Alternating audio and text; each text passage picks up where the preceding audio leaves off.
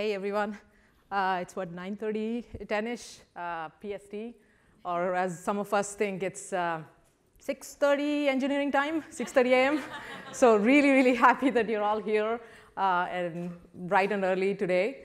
Um, so yesterday, some of you must have heard how AI is really hyped up and so on. So clearly, you know, if you, if you thought AI is hyped up, let me tell you about another area around AR and VR, immersive computing, that's also kind of has like equal potential um, and equal hype. So I'm here to talk about both of them. Um, so in the next few minutes, I want to give you a sense of one, broadly how AI is used at Google and specifically with a kind of a product lens and how are the user problems being solved, what are the challenges and potential there. But then you know, jump into specifically around immersive computing, this rich and in-context natural interface to computing with AR and VR and vision uh, and voice, et cetera, and see uh, what kind of opportunities and challenges exist there, and leave with a, a couple of uh, food for thought. All right, so let's jump in, if the clicker uh, works. Probably doesn't. So we are no, we're in no danger of singularity. like if the clicker doesn't work and video conference doesn't work in 2018. Um,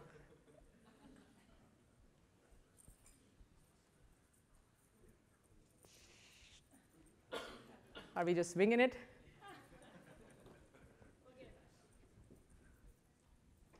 Ooh, okay. So I, I figured, you know, I, I, said, okay, let me think about like, you know, distilling down to like 10, 15 minutes. And I was like, first of all, those of you Cardi B fans, she said it best.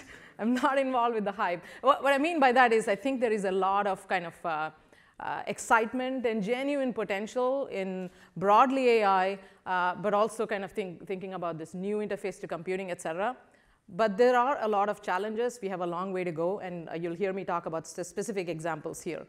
Um, just level setting, and I think this audience is, I'll just zip through it, but I'm gratuitously using AI and ML, and those of you kind of who are uh, prone to more precision in the audience are probably squirming in, your, in their chairs. Uh, really, I mean, AI could be rule-based and you know like learning-based thing, but a lot of the breakthroughs and you know with deep, deep learning and the excitement around products is around machine learning, uh, thinking about like you know instead of like heuristics, uh, teaching computers how to learn. There are many different methods, but they're all roughly like if you squint your eyes, they look like given this input, what is the best output? Um, yes, unsupervised learning is kind of, you know, it's showing promise, but most of the examples on promise is from supervised learning, which means you have tons and tons of examples, which is why you have kind of the comment from uh, the gentleman, Jesus, I think, uh, this morning, said uh, from the unconference yesterday, which is, hey, data is really important, right? Um, and then to state kind of the department of obvious, which is like, hey, why now? We've been talking about ML, and so many of these algorithms have been here for a while. Um, and the two obvious, like, you know, catalysts here are one, data. Just as an example, three, 3 billion plus phones with like location and camera and all sorts of sensors and usage. Uh, and also compute, right, since the 1980s and so on. Uh, that's just with GPUs, but of course, like the TPUs, et cetera, here, uh, and AI chip chipsets. So overall, I'd say I'm, I'm in the camp of there's something really meaningful and useful happening here. Uh, but the future, and the future is here, it's firmly and unevenly distributed. So I want to kind of give you an, a few examples of how AI and ML is used across Google products. This is an eye chart, but I think it's, it's meant to signal or convey this, that there's a lot of usage of these techniques across all sorts of products. Some on one hand, mature products like you know, Google Search, uh, ads, YouTube, et cetera, uh, but also upcoming products like if you think about like, you know, I don't know if you've, you've done that, but I routinely do this, which is like, hey, search for sunsets or you know, brown hat or whatever in Google Photos, and then up comes those pictures with those uh, specific objects. Um, and Translate is a great example of that. I won't go into all of these details, but I thought I'd give you a flavor of some of the examples here of uh, features that are AI-based uh, that are making existing products better. So here's an example. This is a feature within Gmail. Uh, it's called Smart Reply. And the way it works is, again, like there's a ton of label responses where you look at existing emails and the, uh, the re responses that are uh, composed in response to the email. Uh, and then so we have algorithms that figure out the likely uh, responses you may have to a certain email, especially on a mobile phone where you're kind of like, you know, with fat fingers, typing is hard, this kind of feature can be really useful. Uh, one minor point, uh, I want nuance here that I want to point, point to here um, is that notice that there are three choices here, not one. Uh, and again, the insight here is when there's precision recall uh, wise, confidence is the, you don't have significant confidence and like you don't have a one shot at the answer. You have to design the product, design the UX in a way that allows for those things and allows for user agency, et cetera. Um, that was one of the insights we had from you know, a lot of user studies here. This one I, I picked because it's a kind of a non-obvious example. Uh, what we did was, so uh, in our data centers, obviously like energy efficiency is a big deal. Uh, a lot of the energy usage is from cooling.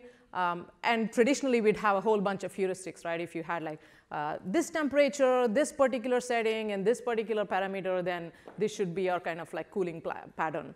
Uh, what we did instead is uh, using the help of DeepMind, which is a, an AI group at Google, uh, we fed all of these parameters into a deep learning algorithm and kind of figured out a cooling pattern, right? We had a generalized approach to it, uh, and it reduced our cooling cost by 40%, right? It's like, uh, the reason I picked this example, it's very unsexy, it's invisible to most people, but I think the in interesting thing is a lot of usage and a lot of impact from AI will come from these invisible optimization, right? Taking engines, existing engines, just making them 10x better because now you have a much more powerful way of like looking at the data you already have um, or you can collect. Um, this is, so far I've talked about examples where it's making existing products better, right? Uh, be it the, um, the smart reply, Gmail, et cetera. This is an example of where we're saying, wait, what are new products that can happen because we have these new techniques? Um, here's an example. It's, uh, it's from uh, a year or so ago. Uh, we, using deep learning, uh, we're able to detect uh, diabetic retinopathy. So diabetes causes blindness in some of a significant percentage of the cases, severe diabetes, uh, and you can often tell by examining the fundus, right? but the reality is that there's a limited supply of ophthalmologists. There's like human errors involved. Often like it takes five to seven ophthalmologists to like actually come to a consensus on whether it's a diabetic uh, you know, scan or not. Uh, what we did was we actually took the help of a bunch of ophthalmologists, had a bunch of, again, labeled images, uh, trained an algorithm, and it's uh, at expert accuracy uh, in detecting whether you know, this particular scan has, is diseased versus healthy. Uh, again, the reason I chose this example is this is one case where it's probably impossible if you just limit by humans to be able to scale this kind of uh, technology to imagine a like you know um, a town in India where very very few ophthalmologists exist. Uh, the option is not human versus yeah it is like you know basically you know going blind versus this. Uh, so that's a really useful example. But it's not all kind of the uh, uh, you know, on the enterprise or in uh, taking these new areas. Many of you um, on the consumer space have heard about voice-activated speakers, uh, these voice-activated assistants, you know, with uh, Amazon Alexa and Google Assistant and so on, right? And then of course we had Siri from Apple a few years ago. This is a case, and it is about building a new product. If you didn't have this step function jump in the quality of speech recognition and natural language understanding, this product is impossible, right? We've had like science fiction movies and like videos talking about it for decades, uh, but it's getting to be tractable and usable only because of these like jumps in uh, the underlying tech here. Uh, the thing that also gets interesting in as soon, as soon as you start thinking of things like voice and vision is it is not just new products that can be built, it's new interfaces to computing that AI is allowing you. That is, uh, it's one thing to kind of think about a healthcare product that just is built by AI, uh, enabled by AI. But it's another thing to say, oh, now you actually can get computers to adapt to humans versus the other way around, right? If you think about the evolution from like GUI and mouse and uh, even touch and so on, suddenly there's like the learning curve to interacting with computers becomes far lower, right? Um, again, you can think of this particular example as highly zeroth world, right? Turn off my kitchen lights. Uh, but uh, one of the things, again, like the teams uh, found is they just launched a Google Home in India and Indonesia and Singapore, et cetera. And what's interesting there is, again, given literacy and given language, uh, multiple languages, we think of, we talk a lot about mobile natives uh, in, in, in countries like India and Indonesia where they've never used laptop and mobile is the only computer they know you're going to see a lot of voice natives, right? Folks who just like grow up saying you, of course you should be able to talk to your computer. Um, both in the emerging markets, but also like those of you who have kids, mine expects to be doing that. I have a nine-year-old. So this is what kind of like, you're starting to change the interface to products and computing through AI. Um, this is, uh, have, how many of you are familiar with the art selfies uh, thing that Google uh, released? If, if not, you should to totally go check out. It's well worth five minutes of goofing off.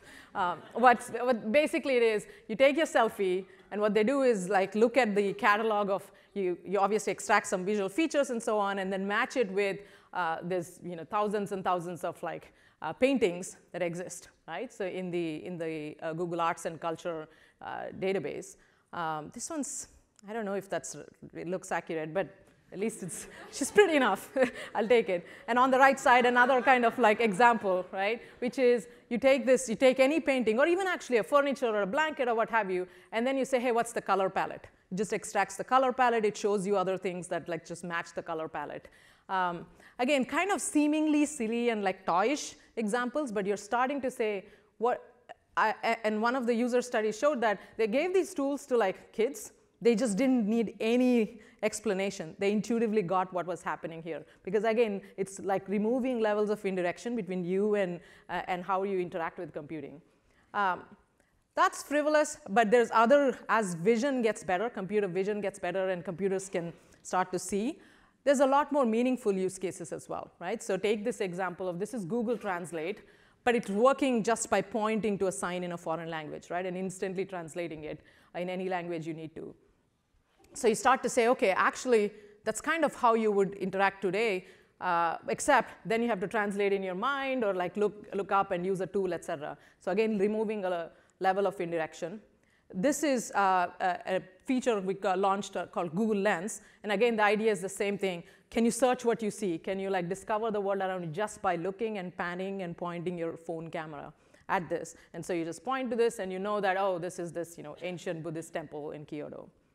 Uh, where does it all go, right? So this thing that you start to see with AI and voice and vision, et cetera, uh, leads are the first few steps towards what I think about as immersive computing. Now, that's like a very heavy word to say, but I think what, what it means to me is what is the natural, in context, direct interaction with information. If you think about it in a while ago, when you had to find out about, let's say, what's Machu Picchu like, what did you do? You kind of like translated in your head, you turned it into a query or what have you, and then like typed it in, you kind of got a rough sense of it.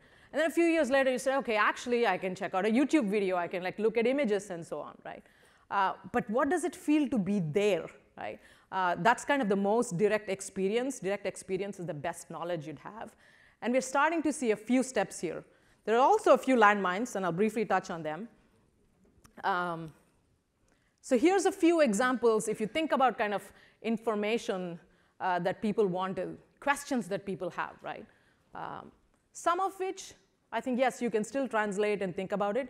Some of which is just too hard to describe using text or words, etc. right? Um, especially the thing about like, you know, how does it feel to swim with sharks, right? Um, and then we said, okay, why is this important to Google? It turns out actually that's kind of the core mission of the company, right? Like being able to like organize information and make it universally accessible, being able to answer these questions, these kinds of questions, any kinds of questions that users may have. Uh, so that's kind of one of the driving motivations when we think about, that's our lens on AR, VR, et cetera, if you will, pardon the pun. Um, one way to think about, I mean, there's again, like people talk about VR, AR. One simplistic way we think about this is VR, it can take you anywhere, right? It can uh, transport you to a different place or a different experience. It can simulate an alternate reality, uh, let you live a slice of a different reality. AR, you can bring anything to you, right? It can be information around you, it can have, be objects around you, it can reskin the reality around you. Uh, but it's along the spectrum, right? There's a lot of underlying tech components that are the same. Uh, they're all trying to solve a spectrum of the same set of questions. So let's briefly touch on VR, right? Again, like what does it mean to kind of like take you anywhere? And then we've been at it for the last few years. Uh, and the way we thought about this, there's obviously like three components uh, here. One is what is the vehicle for consumption? So we started with something, you know, pretty much a toy, like cardboard. Uh, and then we said, oh, actually, we can get slightly better in terms of uh, consuming VR content or having VR experiences, so, but still using a mobile phone. Um, this is where we launched this thing called Daydream View. Uh, but then now, like across the industry, there's like a standalone headsets that are starting to becoming, uh, become kind of a real, right? There's 6DoF tracking that's improving, improving. Several com components are starting to get together. Does that mean it's here? Uh, again, hashtag Cardi B. No, not really, right? Uh, the, the fundamental thing we are seeing is that there's a difference between like kind of subscale, hey, there's something here, there's a few sparks here, versus an at-scale next generation computing platform. There's a big gap here. We are starting to see some sparks here, right? So for example, like when you have, we have this um, app called Expeditions. So it's about these like, you know, rich immersive tours to all sorts of places in the world. And like in just seeing these reactions of like kids in the classroom or uh, folks uh, you know, putting these um, VR goggles on, it's amazing. It's nothing like you know, watching a video or you know, someone telling you about it. Uh, so there's definitely a spark, especially in education and so on. But the one big, are two big challenges we're seeing actually. One challenge is on the content itself. It's really hard and like expensive to make realistic 360 VR video, stereoscopic video. Uh, on the other hand, even if you had all the content, what we're also seeing is that at the end of the day, you're putting a computer on your face, right? That's a significant friction. And so the value needs to be like, you know, way more than the friction for, for users to use this. Uh, and that's the other challenge we're seeing. On the content side, if I can geek out for a bit, I think like one of the things we did do is actually said, hey, can we build these like stereoscopic like VR video cameras? Um, let's have, like this one actually has like 17 cameras. It has an up camera. This is something that VR filmmakers can take. It's like light enough. It's about eight pounds. So it's kind of like, it started to kind of get the VR content creation going, right? But once you have the images, we also have these algorithms, and this is where vision algorithms like getting better is helping us. We stitch together all these images, like, uh, and, and, then the rendering algorithms, et cetera. Um, and then, then we said, it's still not kind of the fully realistic presence. And so one of the new things we've been working on, and you know, it's highly like super early, but there's something promising here. It's called light fields. Uh, some of you may be familiar. But the idea, the insight is here, is that for realistic presence, if you're really uh, in a place, um, near the way the place around you reacts to you as well. That is, the light reflects in different ways when you're uh, with nearby objects versus far away, et cetera. So how do you kind of recreate that? What kind of advanced algorithms can like reproduce that, et cetera? So this is kind of like a, uh, this is what you would see in a, in a VR uh, device of these uh, light fields uh, view of a room, right? It's very, very, very like, you know, realistic. Um, this is like one of the examples of people trying uh, VR goggles on and going a place uh, and really getting excited and just like almost like, can you even do that? Um, we also see, uh, see some um, traction on the enterprise side. Again, as like Kanye, our, our generation's Shakespeare has said this, the world is our office. And uh, there's something to what we are seeing in terms of enterprise and VR. That is, can you actually have a screen in front of you? Can you have co collaboration? Can you do like training and simulation, et cetera? Uh, we are starting to see some traction there. Again, going back to a point that somebody mentioned this morning, versus consumer, this value friction trade-off becomes easier in an enterprise uh, because there's often some like you know high friction problem that you're trying to solve. There's some direct connection to cost, et cetera. So we're seeing some spark there. So that's on the VR side. I would say early days, seeing a few sparks, but a long way to go in terms of being the next generation computing platform. Now, uh, let's look at the other end of the spectrum, which is bringing things to you, around you. There, we are seeing some surprising um, elements of promise and traction. Uh, I say surprising because a few years ago, uh, it felt like, oh, it, the future's so far, like this idea of like AR glasses, the, it's like law of physics, it doesn't add up, etc. Uh, the twist here is, of course, smartphone AR. Given that, again, like you have like billion plus 3 billion phones, not all of them may be like highly capable of this kind of you know, visual spatial intelligence in the cameras, but many of them are. Um, and you're starting to see interesting use cases happen here, right? Um, but those of you have, who have a Pixel uh, probably um, have seen this. These are the, there's a tiny feature called AR stickers, and the idea is that you, have, you can have like AR versions of like stormtroopers and donuts and everything in between. Um, again, like a huge hit with my nine-year-old. Um, but if you think about again about AR, for us at least, there's a few elements here, right? The first thing you say is you open the camera, you need to actually sense the world. You need to be able, able to say, what is it that I'm looking at? So that's why we started saying, oh, computer vision is really critical here. How can you kind of like look at, point your camera at something and say, what is that, right? Uh, that's one effort. The second effort is how do you orient yourself in this world, right? Just like you have maps and GPS, for you to orient yourself at a particular zoom level, are you on the street, are you in this neighborhood, et cetera? But how do you do it in this specific like shelf? You're standing in front of this, part, the cereal box shelf in the retail store. How do you kind of localize yourself there? Uh, and we work on something called Visual Positioning Service, VPS, like GPS. Um, and here again, the idea is both geometry-wise, oh, is there a horizontal plane here? Is there a vertical plane here? How are you going here? But also semantic. Is this like a store? Is this, are these like shelves? Are these cereal boxes here, et cetera? So we build that. Um, and the last thing you do, uh, of course, is kind of say, what if you want to put things back into the world, right? You want to augment your world, that, hence the AR, A in the AR. Um, how do you put 3D objects back into the real world? And this is where we started saying, well, can you actually have an asset store? Can you actually have a database of all these 3D images, be it these silly Stormtrooper stickers or like furniture, right? Um, so you put all of these together and what do you get? Here's a few examples of what's possible, right? This is an example where you can say, hey, I can reskin reality. I can look at something that's under construction and I can kind of like pan the uh, phone and say, ah, this is what it'll look like when it's completed, right? Um, and the thing here is it's not purely information or knowledge, it's imagination, right? Just like VR helps with presence, I think what we're seeing with AR is like it's hard for us to imagine a lot, but it's easy for us to see it. So if you can display what's, uh, what you have to see in your brain in front of you, it's that much easier. Right? Um, here's another example. Now, it turns out you can actually operate an espresso machine. Right? Um, right? How do you kind of in display information contextually in situ on top of something that you're manipulating? Uh, so that's, that's possible now. You can also, just, just for the sake of it, put random things like Android figurines in the real world on top of icicles, just because, right? Um, but more seriously, like if you think about other objects, what can you do? You can actually put a, a grill in your backyard and see how it feels. You can um, get inside a Porsche, like real life scale, see if it fits in your driveway because clearly that's the most important. that's the only thing that's stopping us from getting one. Uh, and then you can also see, this is a, a really a, a, nice example from how eBay is using ARCore, or, our underlying tech, to figure out, uh, it's a real problem for eBay sellers. They, they look at the stuff that they need to ship and say, what package, what size package do I need? And get that done, and like now you can kind of get that visual spatial assistance, right? Uh, this is a brief kind of run through of some of the things that are possible. Uh, there's, um, given that it's an open source, open uh, AR platform that we just like uh, released for developers, we, I think there'll be thousands of like, you know, uh, AR flowers that bloom, and it'll be interesting.